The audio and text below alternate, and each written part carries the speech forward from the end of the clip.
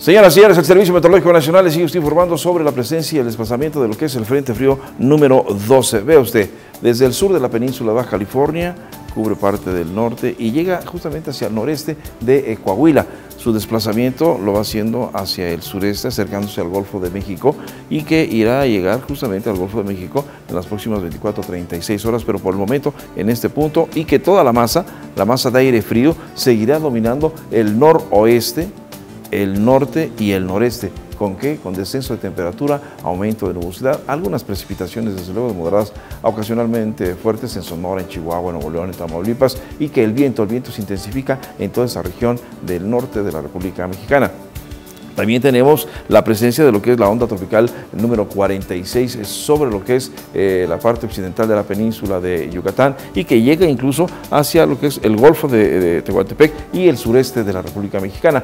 Ahí esperaremos, eh, desde luego, aumento de nublados, algunas precipitaciones que pueden llegar a ser eh, de moderadas a fuertes e incluso puntualmente muy fuertes en el estado de Chiapas. Para la península de Yucatán, eh, moderada la precipitación en las próximas, próximas 24 horas y hacia el sur del territorio también moderada ocasionalmente fuerte, pero principalmente es moderada la precipitación en esa región.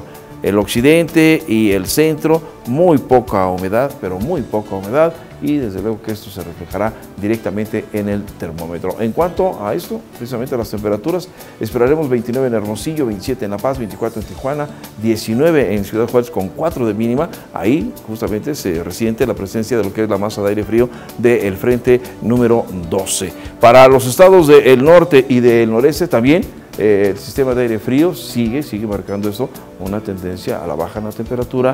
Eh, el cielo se mantendrá con medio nublado a nublado por la tarde con algunas precipitaciones y el viento, insisto, se intensifica en toda la región norte de la República Mexicana que puede alcanzar velocidades entre los 50 y los 60 kilómetros por hora.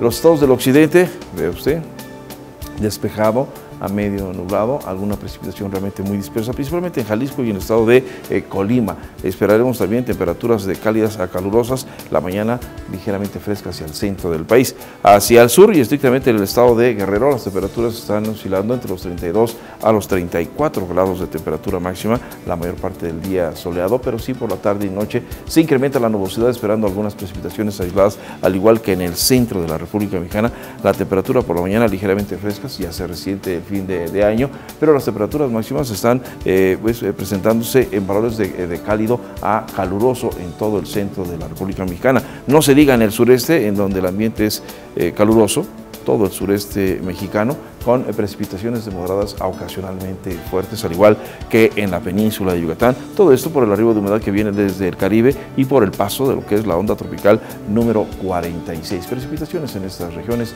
eh, de moderada a fuerte y las temperaturas de cálido a caluroso el ambiente en toda esta gran zona, 33, 34 grados la temperatura máxima. Y aquí, en la capital de la República Mexicana, para estos próximos tres días, jueves, viernes y sábado, el cielo mayormente despejado. Muy, muy soleado la mayor parte del día. Sí habrá alguna nubecilla por ahí, pero de hecho será un día, son, serán días más que nada muy soleados. Temperaturas máximas que oscilan entre los 25 y los 26 grados de temperatura máxima. Y la mínima, pues mire, estaremos entre los 9 y los 11 grados de temperatura mínima por la mañana. La mañana bastante fresca ya aquí en la capital de la República Mexicana. Esto es lo más importante que le tenemos a usted desde el Servicio Meteorológico Nacional.